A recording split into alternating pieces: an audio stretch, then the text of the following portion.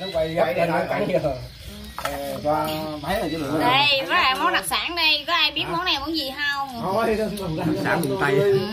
dạ món đặc sản đó đây gửi lên mạng luôn.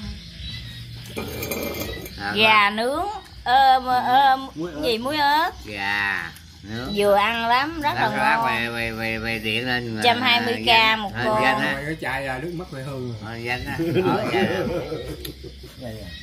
Ờ, đó cháo đây là món bún riêu. Chậm cho nó lội nha quá ngon mà con ơi. Ờ, trái cây rồi đuông dừa. ừ, con nướng dừa này con 15 ngàn. Sao ăn cái quay nữa? Đó thôi cái đây ăn. Nè chị quay chứ không phải nè nè quay quay. Nói nói gì đây là chuẩn bị là có một người đang đang à, gấp một con đuông. Khoan nha. Ăn không? Cắn cái đầu bỏ vô. Gàn quá ngon quá gàn quá. Quá đã. Có.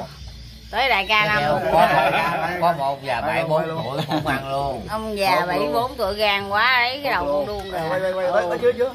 Cắn đầu hả rồi đâu rồi này cắn cái đầu bỏ vô. béo quá béo chéo bộ về thôi. Con nó đi. Không thể quay. chưa chưa nóng cơ.